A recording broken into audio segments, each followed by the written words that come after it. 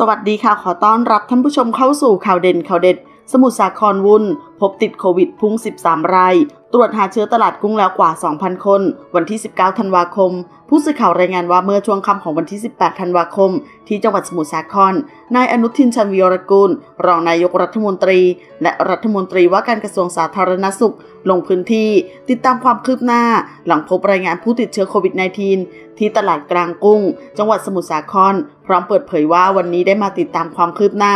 กรณีพบผู้ติดเชื้อโควิด -19 ที่จังหวัดสมุทรสาคร ซึ่งขณะนี้ทีมควบคุมโรคกระทรวงสาธารณสุข ได้ส่งทีมทำงานร่วมกับโรงพยาบาลในจังหวัดสมุทรสาคร และผู้ว่าราชการจังหวัดในการติดตามสอบสวนโรค และตรวจหาเชื้อ ขณะนี้มีความพร้อมค่อนข้างมาก รัฐมนตรีว่าการกระทรวงสาธารณสุขกล่าวต่อว่า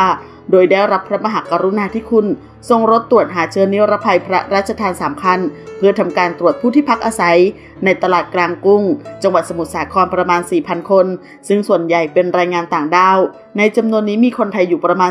10%ขณะนี้ตรวจหาเชื้อไปแล้วกว่า 2,000 คน เบื้องต้นพบผู้ติดเชื้อ 13 ราย ส่วนใหญ่มีความสัมพันธ์กับตลาด และจะขยายการสอบสวนโรคต่อไป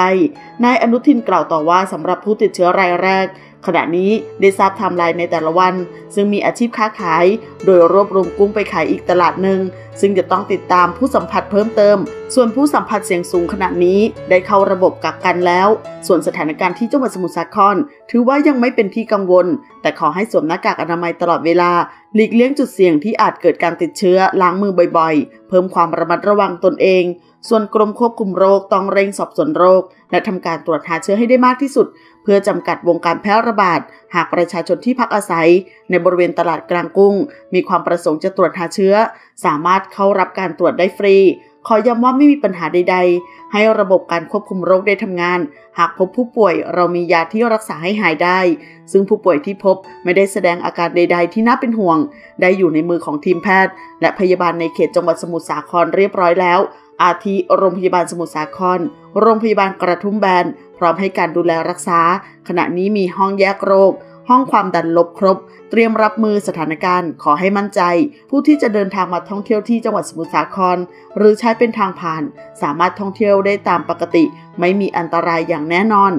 นายอนุทินกล่าว ทั้งนี้กระทรวงสาธารณสุข ได้ส่งรถเก็บตัวอย่างชีวนิรภัยพระราชทาน ลงพื้นที่ตลาดกลางกุ้ง จังหวัดสมุทรสาคร เพื่อเก็บตัวอย่างประชาชนกลุ่มเสี่ยงจำนวน 3 คัน และสนับสนุนหลอดเก็บตัวอย่าง VTM จำนวน 2,500 หลอดไม s w a p 2,500 NPS และ t o Swap ชุดตรวจ Repair F Test 200 Test วัสดุกับ PPE ปลอด 100 ชิ้น กาวกันน้ำ 200 ตัว Surgical Mask 500 ชิ้น ขอขอบคุณข้อมูลจากข่าวสดขอบคุณค่ะ